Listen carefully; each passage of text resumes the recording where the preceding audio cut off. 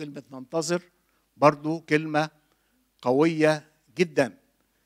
وفي الأصل تعني واحد يعني عامل جسده قدام كده متطلع بشوق إلى حاجة هتحصل. Eagerly await. يعني متوقعين بشوق ومتوقعين أيضا بصبر.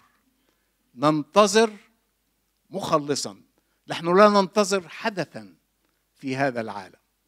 نحن لا ننتظر شيء هيحصل لكننا ننتظر شخصا. هذا الشخص هو المخلص. زي ما قلنا هو هيخلص أجسادنا. زي ما جه في المرة الأولى وخلص أرواحنا هيخلص أجسادنا. في المرة الأولى جاء لكي يبطل الخطية بذبيحة نفسه. لكن في المرة الثانية سيظهر ثانية بلا خطية لمين؟ للخلاص للذين ينتظرونه. هم دول اللي منتظرين. ننتظر. رجعتم إلى الله من الأوثان لكي تعبدوا الله الحي الحقيقي وتنتظروا. تنتظروا بشوق ابنه الذي أقامه من الأموات يسوع الذي ينقذنا.